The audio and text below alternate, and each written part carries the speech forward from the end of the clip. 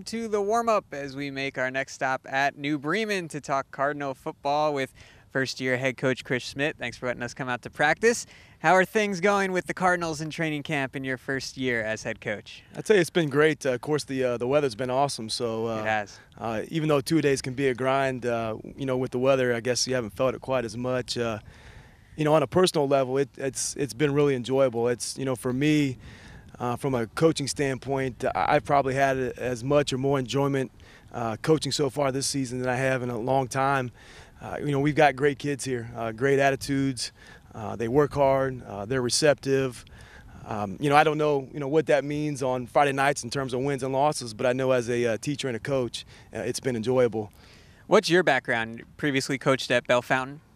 Yeah, I was. Um, let's see, I seems like I've been all over now. Um, but I was at Bellefontaine, I think, for 10 years, three of those as a head coach. Uh-huh. Uh, last two years, I've been an assistant coach uh, down in the Columbus area and then uh, uh back over this way.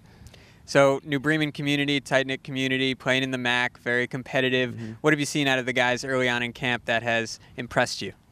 Well, I, I think, again, just the, um, you know, every day they come out, they're, they're willing to work, they want to be pushed.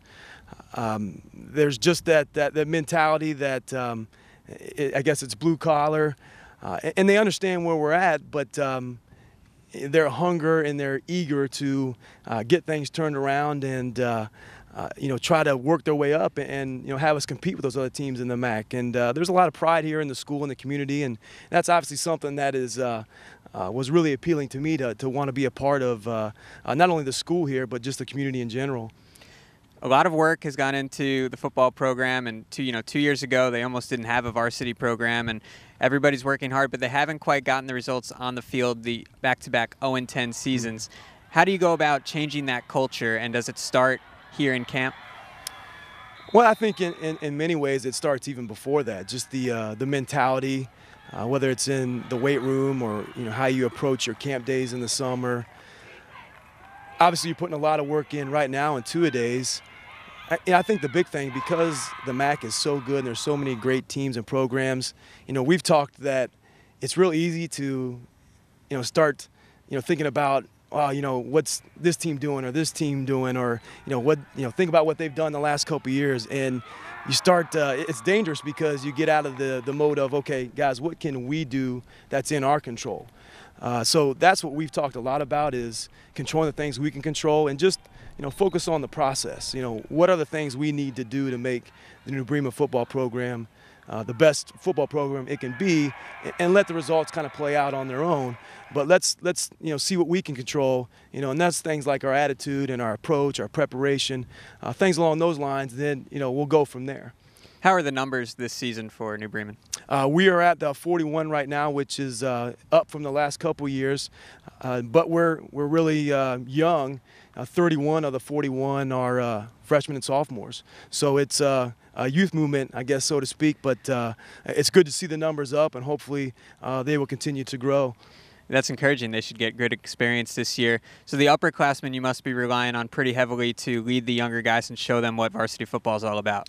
Uh, we really are, and, and, and even with some of our older guys, uh, with some of the experience on the varsity level, I mean they're still getting acclimated to that and getting used to that. So even for them, that's new. But uh, I tell you what, our, our, seniors and juniors so far have been great because they have done a really good job of uh, bringing those young kids along.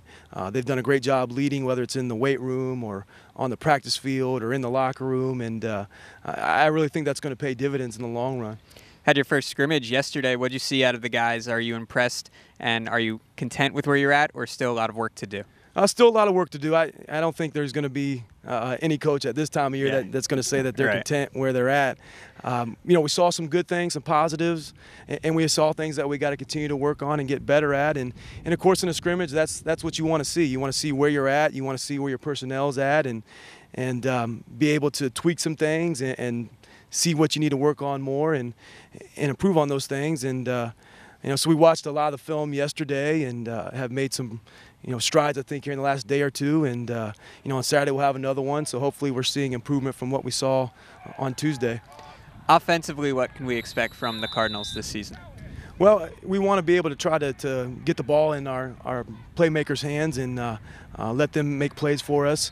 Uh, we're a team that um, you know primarily is going to be more run heavy, mm-hmm. um, but we want to be able to throw the ball obviously and and try to have a good mixture there, and whether that's play action pass or just maybe some quick things on the outside. Uh, where we're at right now with some of our youth, and uh, I guess numbers, we feel more like for us to be successful, we wanted to be able to try to uh, control the line of scrimmage, run the football, uh, shorten the game as opposed to maybe being in a spread where you're trying to get a bunch of snaps and maybe uh, lengthen the game. And a lot of that has to do with, you know, defensively too. We want to be able to put the best uh, guys out there we can defensively, and uh, uh, we feel like having a good running game offensively can help us on the defensive side of the ball opening up the season at home against Bradford. What's an area that needs improvement between now and then? And if there's multiple, maybe one you're most focused on. Well, I think it's just, uh, I think line of scrimmage play is always a big thing this time of year, um, whether that's on the offensive line or defensive line, uh, just playing lower. And, and I guess that comes to even with the, you know, the linebackers and running backs. You, ever, you want to see everybody playing a little bit lower, a little bit better leverage, um, you know, getting off the ball faster. I, I think that's one of the big things when you have young kids. There's mm-hmm. obviously, there's going to be some differences there uh, strength-wise and even uh, maybe mentally wise there with maturity. Uh, but I think it's also the speed of the game too that they have to get used to. So so hopefully you know that's something that when we start to get to that week one and then into week two that you know, some of that speed of the game is not as fast as what it is currently right now. Right, and when you have young guys, the good thing about that is they're coachable. They don't have their own patterns yet. So have you seen progress here in camp that is moving quickly?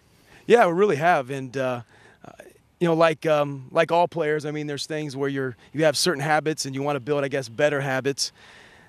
But I've seen a lot of a lot of stride, and and you know, some days as a coach, you're, you're thinking, man, I wish that went a lot better. And then the next day when you come out and, and you do it, it, it, does look a little bit better. So you know that the kids are catching on. And, and sometimes, you know, I'm guilty of wanting to go faster and, and have things, you know, quicker and, and more – up tempo and you just kind of have to pull yourself back and remember okay hey you know let's make sure that we're teaching the kids you know everything and, and breaking it down for them and uh, teaching it step by step and slowly but surely you know the, the speed will come with it. All right that progress is very important for everybody. Close out with a little talk about the mac what do you know about the mac many consider it one of the best conferences in the state of ohio and you know the competition is going to be very tough week in and week out. Yeah and and for me that was something that appealed and uh, you know, being able to come and compete in the MAC, and, and you know that uh, week in and week out you're going against the best. And, uh, you know, I think for us as a program, we talk about, hey, you know, for us to be the best program we can be, you know, we have an opportunity to go against the best each and every week. So, uh, you know that, you know, the schedule is going to be difficult, but, uh, you know, for me, I'm excited. I want to, you know, experience, you know, Friday nights in the MAC, you know, whether it's playing at home in front of our crowd or, you know, what it's like to play at Versailles in the pit or, you know, whatever it is. Uh, uh, those are things that I'm looking forward to doing. So uh, it's exciting. And the other thing is, you know, being on the outside of the MAC a lot of times, you know, whenever you would go to a playoff game and you'd see a MAC team there, you know, you see all the other, you know, varsity jackets it from all the other schools. Yeah. yeah. So it's awesome because uh, there's a lot of great competition amongst communities and schools, but then they're all very supportive of each other too. So it's uh, I, I'm eager and looking forward to it. Well, best of luck to you this season, Coach Schmidt. Thank you for letting us come out. We need to take a break here on the warm up. When we return, Mark Kuntz will sit down with some of the Cardinal players.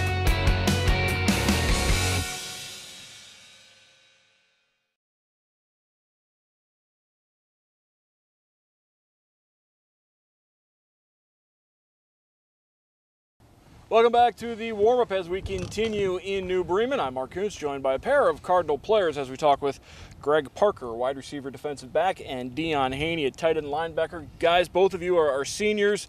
As seniors, what would it mean to, to finally get the, this New Bremen program turned around in the right direction, Greg?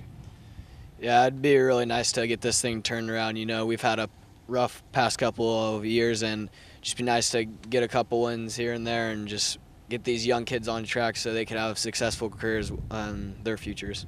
Deion, obviously, a few years ago, this new Bremen program was on life support. 40 some kids out right now, not quite where you'd like it to be, but certainly better than where it was. Is there a sense that the the program is on its way back? That there, there is more uh, enthusiasm in the student body for, for the younger kids to come up and play and come out for football? Yes, there is. Uh, the freshman class has 26 coming in, so I think they're finally starting to turn around. They've had a successful career in the junior high, so they're starting to have their spirits up high. So when they get to the bigger level, like with us, they'll finally start to turn around. I feel. Deion, what's Coach Schmidt like? Coach Schmidt, he's uh, he's intense, but he's quiet. He always wants to get you fired up. He always wants you to go 100%, always, like every coach. But then he has that side where he's like, okay, he's going to stop, break it down to you. He's going to give you a step by step to make sure that you can be the best you can. Greg, do you see that, that quiet intensity come through in practice then? Uh, yeah, he likes to. He'll sit and watch, and then when he needs to correct you, he will. And just when he needs to get kids fired up, when practice starts to get slow and kind of dull down, he really gets that energy back out of everyone and gets things back going. Greg, a couple weeks before the opener against Bradford, what do you guys need to work on the most between now and then? I'd say just our line of scrimmage, just our pad level, being able to fire off that ball and be able to control the line of scrimmage. During our uh, scrimmage um, yesterday, we had uh, a lot of plays where we just get caught in the line of scrimmage because we'd come up too high and everything would just kind of get jammed in there. I think we just need to all come off a little bit lower, just be able to get some more movement on the ball. That way we can open up some more holes for our running backs to make plays. All right, Greg Parker and Deion Hoehne from New Bremen. We're going to take a timeout here on the warm up. When we come back, more from the Cardinals here on WOSN.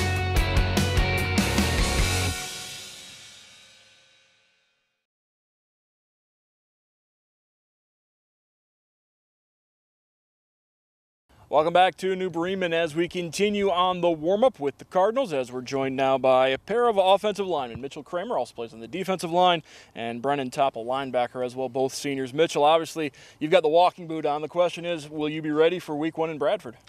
Uh, maybe not week one. Hope shooting for week two though. Still got a little work to do, a little rehab to do on it. Then it should be good to go. Overall, yourself excluded. How's the health of the team going?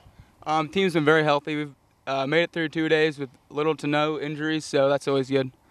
Brennan, coming up in September will be the third year anniversary of the last time New Bremen has won a game. How, how much would it mean to the senior class to, to get New Bremen off that schneid and pick up a victory?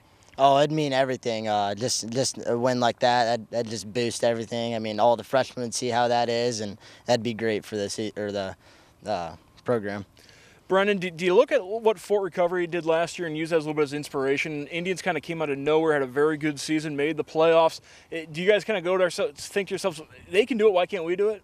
Oh yeah, absolutely. Uh, just just another team in the MAC like that, just coming almost out of nowhere and just making the playoffs. That's I mean that's just sweet. It, would it'd be perfect if we could just you know kind of win a couple games, get ourselves on track, and maybe eventually we can do that too. Mitchell, two straight winless seasons. Does that wear on you guys? Has the attitude come back from, from having a pair of 0 and 10 seasons? Um, it certainly wears on you, but I've learned after those seasons that you just got to look past them, and they're in the past. You can't ch- can't do anything to change them now. You just got to look next day, move forward, live from, uh, learn from them. Mitchell, what are the goals for this year's team? Um, I'd say after going 0 and 10, like I said last two years, I'd really love to win a couple games, get this program turned around. That'd be great for my senior year. Brennan, outside of week one in Bradford, what game do you have circled on your calendar? Uh, week two, I'm pretty excited for as well. Uh, I mean, another, another uh, non-conference uh, game, but I think it'll be uh, exciting to get a win there. Yeah, New Bremen opens up at home against Bradford before traveling to Holgate, and then they take the trip to Maria Stein and take on the four-time defending state champions Marion Local. That's going to do it for us tonight on the warm-up. I want to thank all of our guests from New Bremen. For Matt Finkel, I'm Mark Kuntz. We'll see you next time here on WOSN.